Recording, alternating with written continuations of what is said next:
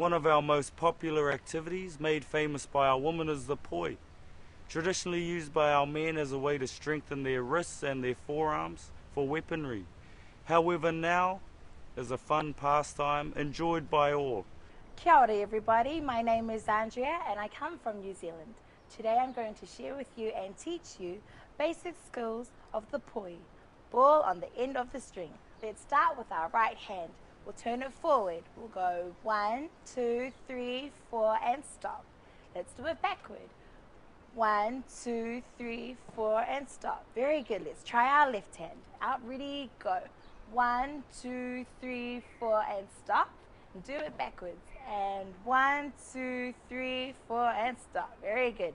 Now we're going to try something a little bit trickier. We will get our right hand, turn it forward, and go one, two, three, and cross. One, two, three, and cross and stop. Left hand. Turn it forward. One, two, three, and cross. Let's do another move. We'll get our right hand and we'll put it uh, over our head like a helicopter. We'll turn it one, two, three, and we'll bring it down around our body like so, okay? Now we're gonna do something that might get you stumped. We're gonna turn our right hand forward and our left hand backward. Very good.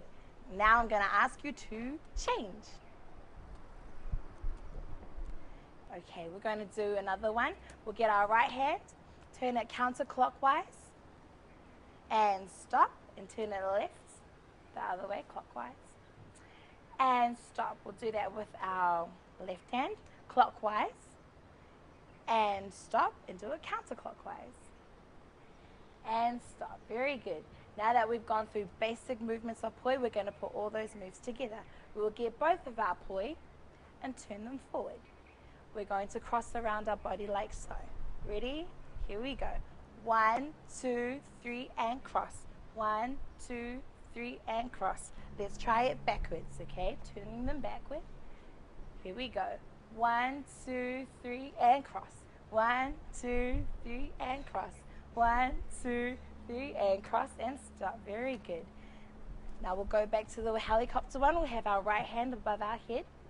We're going to get our left hand and bring it around our body. And when I say change, I want you to get your right hand, put it around your body, and get the left hand and put it above your head. So change. Very good. When I say change, that's what I'd like you to do. Ready?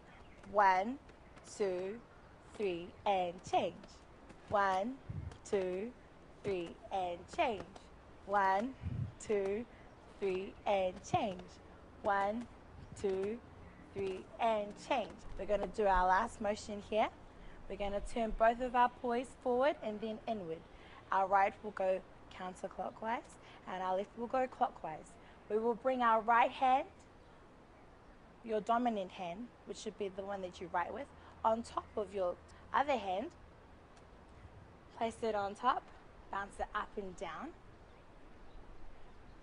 That, with that top hand, you'll get your pinky out, put the other one in, pretend though, as though you're shaking someone's hand, and it should look like so. Oh, look at that, you're all experts now. Kia ora, thank you for coming.